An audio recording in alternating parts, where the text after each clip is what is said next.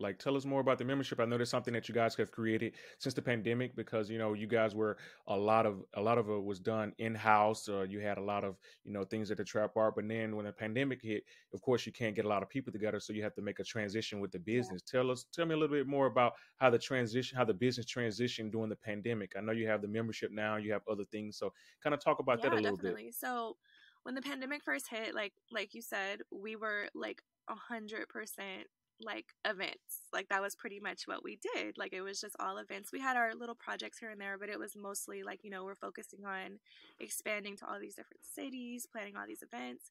And so it just, you know, abruptly, as everyone's aware, just abruptly stopped, right? So we're like, oh my God, like, what do we do? you know, so um, the first thing that I thought to do was to find a platform to host our magazine that I could release digitally mm-hmm. instead of like printing them. That we had been doing the printed magazines, we did five of them. Um, and honestly, those were more of like a branding type thing. They weren't really like a business thing. It mm-hmm. was more so like, this is dope. It wasn't really like selling or anything. It was just like, this is dope. Um, and I love that we did it. I wouldn't change it. I would still do it. Um, it was it was great, you know, putting them together. But we had to think kind of like, okay, how can we still give artists exposure?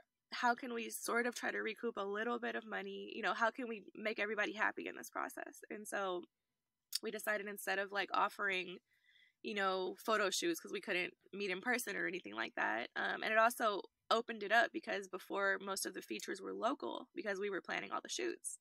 Um, so we decided, okay, well, why don't we like create, you know, an online interview and have people submit their own photos.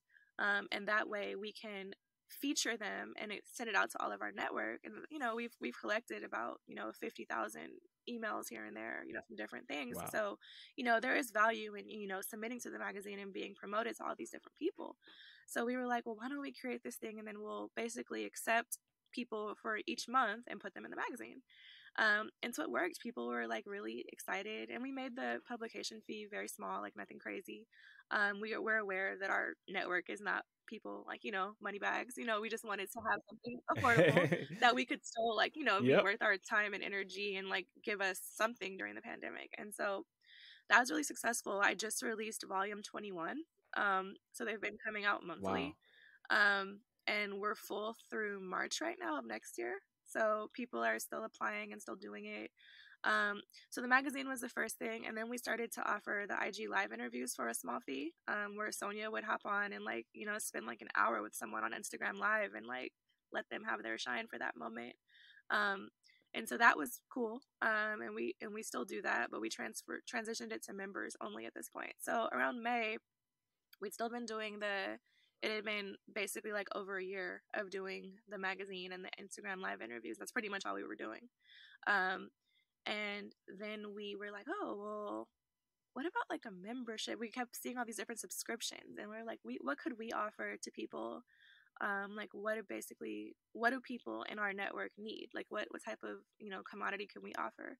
And we're like, well, we already know people want to have um, you know a space to feel like people are like minded, you know, coming to a space where, you know, they can come into a Zoom meeting and, and see other artists sharing their work and talk about their process, or other artists talk about their frustrations with marketing. And then maybe I can step in and help with, you know, my experience. And so we just started that in May. Um, just started basically recruiting people to be like, hey, do you want to be a member? People that we already kind of had known in different cities. Um, and so we're up to about 150 members now, um, which is Nice. Pretty cool. Um, we we meet almost weekly on Zoom. Um, and we talk about different topics from mental health check-ins to branding and marketing to me advising people on like how to properly have your business intact um, to just like chill share moments it's all it's very different you know it's all different kind of stuff that we talk about and then within the membership members are also given first dibs on event signups so now that we're back to doing events um, there's a long line of artists that are ready to showcase. And so as a member, you get basically like the first week before everybody else, before we announce it to the public, we announce it to our members that we have an event somewhere. Um, members get to hop on IG Live with Sonia for free now. There's no fee added to that. Um, Nice. we also give them free magazine ads. An ad was something that we did not previously have in the magazine. So now we have like one page clickable ads that are all of our members who can share whatever they have going on. Um, and so that's something that they've been taking advantage of. Um, and then we're just going to continue. You know, we did our first member shoot uh, at the event we had a couple weeks ago, where it was a member that was a photographer and a member that was a designer who came together and created some really beautiful shoots.